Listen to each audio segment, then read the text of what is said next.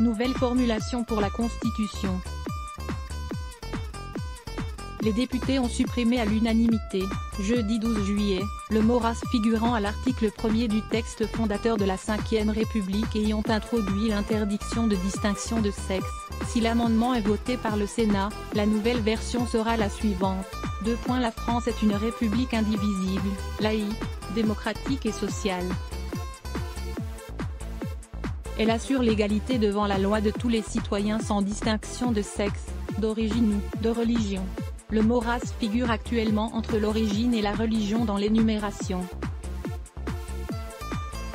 Les groupes parlementaires avaient déposé des amendements pour considérer que la persistance du terme race, introduit dans la Constitution en 1946 pour rejeter les théories racistes après le nazisme, était aujourd'hui mal comprise et infondée, alors qu'il est démontré qu'il n'existe pas de race au sein de l'espèce humaine.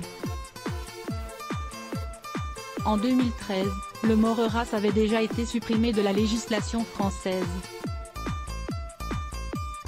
Il s'agissait alors d'une première étape car, pendant la campagne présidentielle de 2012,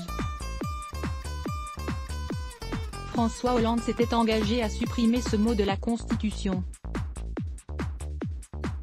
C'est finalement son successeur qui a engagé ce chantier.